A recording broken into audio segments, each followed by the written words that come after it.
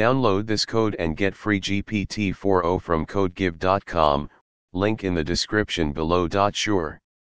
The sum of the first n natural numbers can be calculated using the formula, backslash, backslash text sum equals backslash frac n backslash times, n plus 1, 2 backslash. Here is a step-by-step -step tutorial to calculate the sum of the first n natural numbers in Python. 1. Define a function called sum underscore of underscore natural underscore numbers that takes an integer backslash, n backslash, as input. 2. Calculate the sum using the formula backslash, backslash text sum equals backslash frac n backslash times, n plus 1, 2 backslash. 3. Return the calculated sum. Here is the Python code example.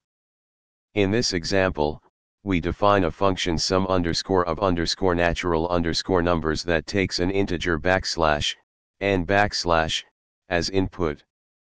We calculate the sum of the first backslash, n backslash, natural numbers using the formula backslash, backslash text sum equals backslash frac n backslash times, n plus 1, 2 backslash, and return the result. Finally, we input a value of backslash, n equals 10 backslash, and print the calculated sum. You can run this code in a Python environment to see the output, the sum of the first 10 natural numbers is 55.